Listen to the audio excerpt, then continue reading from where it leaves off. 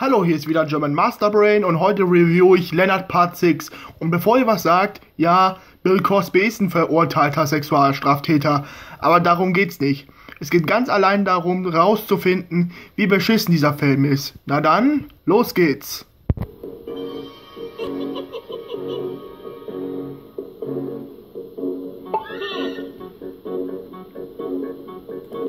Übrigens, der Film hat 24 Millionen Dollar gekostet.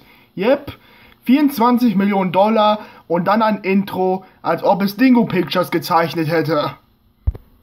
In Leonard Part 6 geht es um folgendes.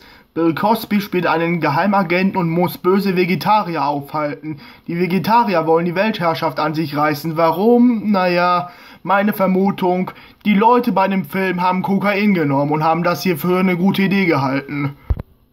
Dann gibt's eine Schießerei in der Küche da, wo keiner vom Küchenpersonal irgendeine Art von Stimmung zeigt. Sie arbeiten einfach heiter weiter.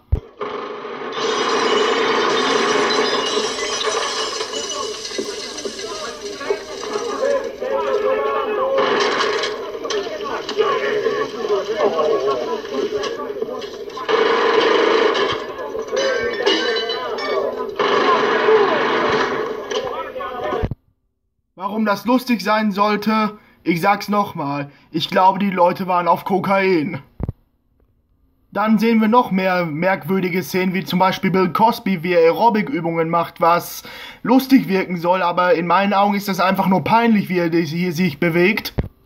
Oder in der Szene, da wo Bill Cosby mit Soße bekleckert wird, was auch eigentlich mehr peinlich anstelle lustig ist. Dann noch diese Szene, da wo zu 100% klar ist, dass in dem Kostüm ein Stunt-Double drin ist. Oder auch das hier, einer der schlechtesten Szenen in der Comedy-Geschichte.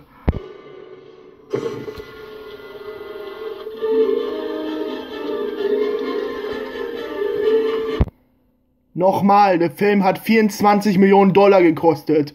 Da erwartet man schon etwas mehr. Und dann kommt das bittere Ende. Und ich muss sagen, das ist einer der schlimmsten Filmenden aller Zeiten.